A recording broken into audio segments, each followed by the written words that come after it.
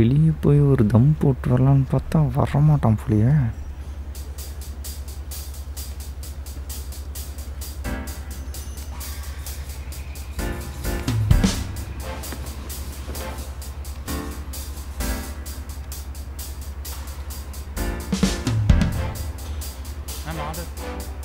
Just bring me something. Just say something.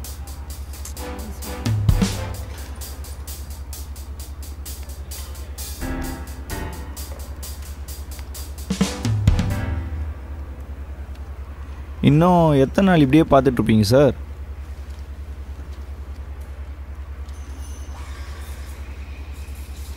நீ இப்படியே பார்த்துனே இரு. அவள் ஒரு நாள் வேற ஒருத்தனை கூட்டின்னு உள்ளே வர போகிறா பின்ன என்னடா? நானும் டெய்லி பார்த்துக்கிட்டு இருக்கேன். வர கால் மணி நேரமாக அவளை பார்த்துக்கிட்டு இருக்க. குடிக்காத காஃபிக்கு பில்லு கட்டிட்டு போகிற நீ வேணா பாரு. ஒரு நாள் நான் சொன்னது தான் நடக்க போகுது. டேய் அப்படி இல்லைடா. வேற எப்படி? இதோ பார். நம்ம ஆஃபீஸில் பாதி பேருக்கு தெரியும். நான் அவளை லவ் பண்ணுற விஷயம். ஏன்? இது அவளுக்கே தெரியும். நான் அவள் கேபினை கிராஸ் பண்ணி போகும்போது அவள் என்னை திரும்பிலாம் பார்த்துருக்கா தெரியுமா? டேய் அவள் கேபின் பக்கம் நீ இல்லை. வேற யார் போனாலும் பார்க்க தாண்டா செய்வா. சி ஃபஸ்ட்டு உன்னோட லவ் போய் அவகிட்ட சொல்லு. அவள் அக்செப்ட் பண்ணுறாலோ இல்லையோ அது நெக்ஸ்ட் பார்ட் பட் அவள் சைடில் என்ன ஐடியாவில் இருக்கான்னு ஒரு கிளாரிட்டி கிடைக்கலாம்ல. டேய் அவள் பார்க்குற பார்வையில நான் அடித்து சொல்லுவேன். நான் லவ் பண்ணுற விஷயம் அவளுக்கு தெரியும். நீயும் நானும் ஒரு ஏழு வருஷம் ஒன்றா இருக்கோம். எப்போ நீ சைக்காலஜிலாம் படிச்ச? ஏங்க இப்போ நான் என்ன நினைக்கிறேன்னு சொல்லி பார்ப்போம் எப்படா இவன் ஏஞ்சி போவான் நம்ம எப்போ தம் அடிக்கலாம்? அதானே? இல்லையா? அது விடு. அதான் அவளுக்கே தெரியும்னு சொல்கிறல அப்போ நீயே போய் சொல்ல வேண்டியது தானே? டேய் அப்படி இல்லைடா. நான் ப்ரிப்பேர் பண்ணி போனாலே ஒழுங்காக பேச மாட்டேன். இதில் அப்படியே போய் சொல்லலாம் நான் என்ன சொல்கிறது நான்? ம் எனக்கு தெரியாது. நீ இப்பயே போய் சொல்லி ஆகணும். ம் என்னால் முடியாது. இப்போ நீ சொல்றியா? இல்லை நானே போய் சொல்லிடுவா? இது சரிப்பட்டு வராது. நானே போய் சொல்கிறேன் எங்கே போகிற ஐயோ நான் போய்? இருடா. இல்ல இல்ல இல்ல நான் டேய், நானே சொல்கிறேன் இருடா. நானே சொல்கிறேன் எல்லாம் நல்ல நேரம் தான் போ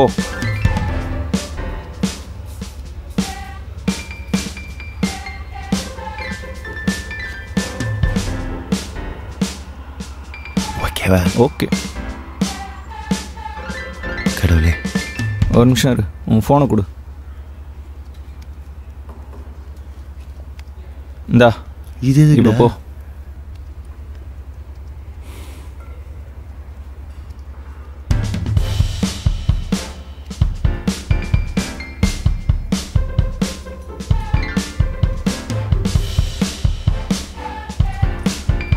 பார்த்துக்கிட்டு இருக்க அங்கே போடா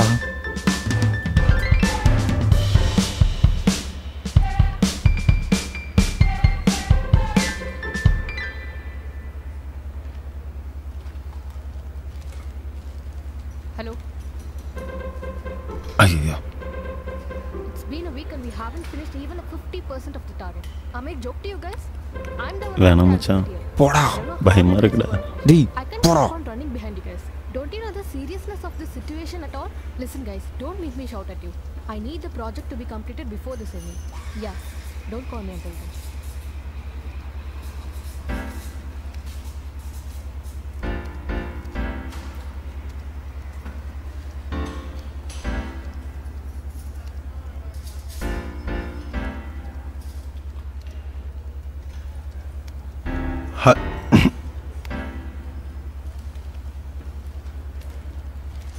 I love you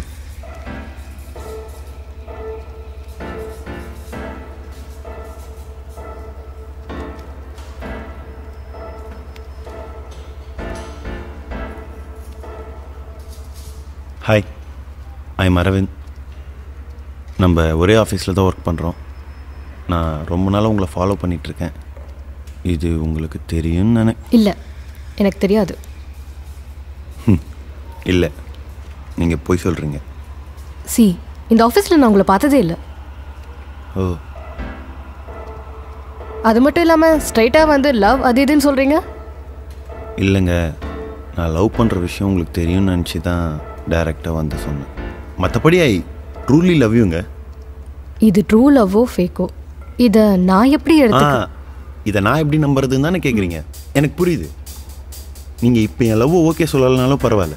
ஒரு நாள் கண்டிப்பாக நான் என் லவ் உங்களுக்கு ப்ரூவ் பண்ணுவேன். அப்போ நீங்கள் ஓகே சொன்னால் போதும். அது வரைக்கும் நான் வெயிட் பண்ணுறேன் பட் என்னால் அது வரையும் வெயிட் பண்ண முடியாது. உங்களுக்கு ஃபைவ் மினிட்ஸ் டைம் தரேன். அதுக்குள்ளே ப்ரூவ் பண்ணுங்கள் இல்லைனா நோ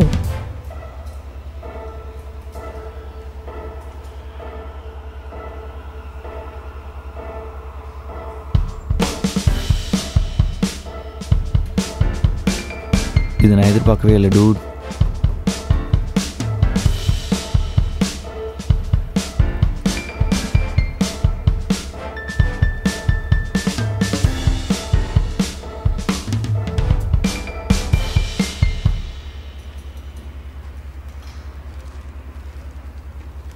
உங்களை ஃபஸ்ட் டைம் பார்த்தப்போ யார்கிட்டையும் வராது அந்த ஃபீல் எனக்கு உங்ககிட்ட வந்தது. இதை எனக்கு எப்படி சொல்கிறதுன்னு தெரில பட் இட்ஸ் ட்ரூ லவ் உண்மையாக சொல்லணுன்னா அப்போ நடந்த எந்த விஷயமும் இன்னும் எனக்கு மறக்கலைங்க. எனக்கு எல்லாமே ஞாபகம் இருக்குங்க.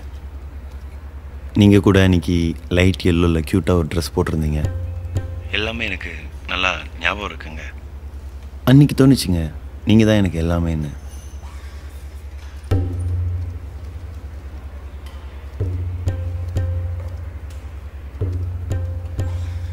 இல்லை இல்லை. உங்களை ஃபஸ்ட் டைம் பார்த்தப்போ கூட எனக்கு அவ்வளோ ஃபீல்லாம் இல்லைங்க. நீங்கள் எல்லாருக்கிட்டையும் பேசி பழகுற விதத்தை பார்த்ததுக்கப்புறம் தான் எனக்கு உங்கள் மேலே லவ்வே வந்துச்சு.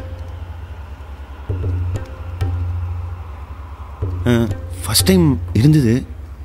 போக போக இன்னும் இன்க்ரீஸ் ஆச்சு. ஆ உங்களுக்கு பிடிச்ச ஆக்டர் தனுஷ் தானே? உங்கள் ஃபேவரட் கலர் ப்ளூ உங்கள் பர்த்டே கூட மே ஃபைவ் தானே? எனக்கு எல்லாமே தெரியுங்க. நீங்கள் கூட உங்கள் வீட்டில் ஒரு பூனைக்குட்டி வளர்க்குறீங்களே. நான் மட்டும் உங்கள் ஹஸ்பண்டாக இருந்திருந்தேன்னா கண்டிப்பாக உங்களுக்கு பிடிச்ச பொருள்லாம் உங்களை சுற்றி இருந்திருக்கும். அண்ட் நமக்குன்னு ஒரு சின்ன வீடு ரெண்டு பசங்க. லைஃப் ரொம்ப அப்படியே ஹாப்பியாக போயிருக்குங்க.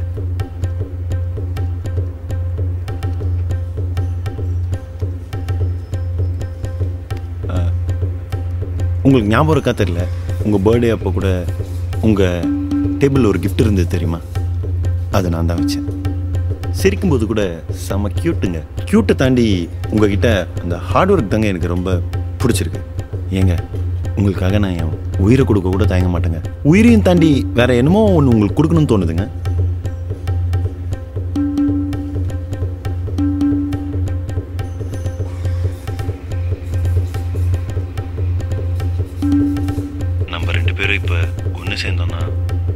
நிச்சயமாக நான் உங்களுக்கு ஒரு நல்ல லைஃப் பார்ட்னராக இருப்பேங்க.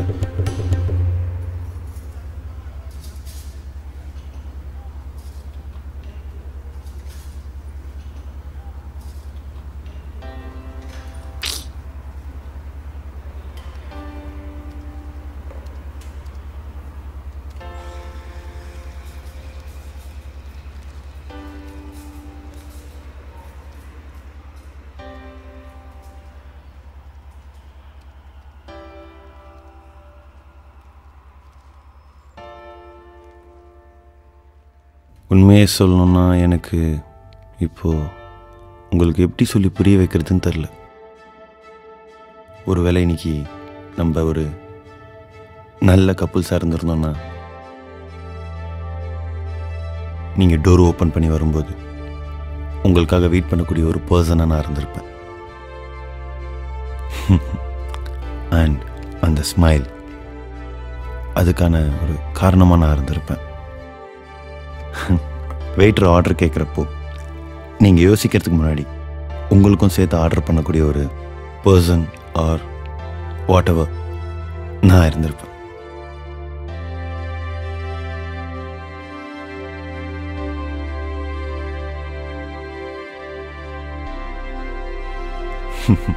ஆர்டர் வரத்துக்குள்ள உங்கள் மொபைல் ரிங் ஆகி நாலு பேரை திட்ட முடியாமல் திட்டி அந்த டென்ஷன் தலைக்கேறி அப்போ உங்கள் கையை தொட்டு காம்ப்ரமைஸ் மட்டும் பண்ணக்கூடிய ஒரு ஆளாக மட்டும் இல்லாமல் அந்த டென்ஷனை மறக்க வச்சு உங்களை சிரிக்க வைக்கிற ஒரு ஆளாக கண்டிப்பாக இருந்திருப்பேன். இருப்பேன்.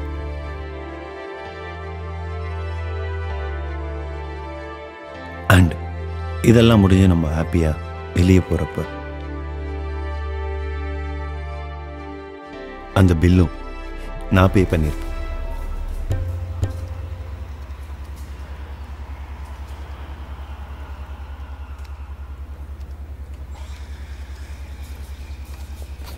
ஏங்க ஏங்க எங்கே போறீங்க? வேணா நான் நாள் நாளைக்கு வந்து சொல்லுவேன் இதே டைமுக்கு ஏங்க வேணா அந்த பில்லு மேட்ரு தூக்கிடுங்க. மற்றபடி நீங்கள் கொஞ்சமாவது இம்ப்ரெஸ் ஆனீங்கல்ல. ஏங்க என்னை பிடிக்கணுன்னா நான் என்னங்க பண்ணுறது அட்லீஸ்ட் அதையா சொல்லுங்கள் ப்ளீஸ் ஒரு விஷயம் தெரிஞ்சுக்கோங்க. ஒரு அப்பாவும் பையனும் இருந்தாங்க. அந்த பையனுக்கு ஒரு அஞ்சு வயசு இருக்கும். அந்த பையன் அவங்க அப்பா கிட்ட போய் அப்பா உங்களுக்கு என்ன எவ்வளோ பிடிக்கும்னு கேட்டானா? அதுக்கு அவங்க அப்பா உன்னை இவ்வளோ பிடிக்கும்னு சொன்னாராம். அந்த பையனுக்கு அது புரியவே இல்லை. அதே பையன் இருபது வயசுலேயும் அப்பா உங்களுக்கு எவ்வளோ என்ன பிடிக்கும்னு கேட்டானா? அதுக்கு அவங்க அப்பா உன்னை இவ்வளோ பிடிக்கும் அப்படின்னு சொன்னாராம். அதுவும் அவனுக்கு புரியவே இல்லை. அதே பையன் முப்பது வயசுலேயும் அதே கேள்வி கேட்டான். அதுக்கு அவங்க அப்பா சொன்ன பதில் அப்பையும் அவனுக்கு புரியல. ஒரு கட்டத்தில் அவங்க அப்பா இறந்து போயிட்டார். அவனுக்கு ஒரு பையன் இருந்தானா? அந்த பையனும் அவங்க அப்பா கிட்டே போய் அப்பா உங்களுக்கு என்ன எவ்வளோ பிடிக்கும்? அப்படின்னு கேட்டானா. அதுக்கு அவங்க அப்பாவுக்கு என்ன சொல்கிறதுனே தெரியாமல் இந்த உலகம் எவ்வளோ பெருசு இருக்கோ அந்த அளவுக்கு ஒன்று எனக்கு பிடிக்கும்னு சொன்னாரா? அவர் சொன்னதும் அவனுக்கு புரியவே இல்லை. கிட்டத்தட்ட யாருக்குமே அது புரியவே இல்லை. ஆனால் எல்லாரும் அவங்க அப்பா இறந்தப்ப கண்ணீர் விட்டு அழுதாங்க. ஏங்க புரியல. புரியும்.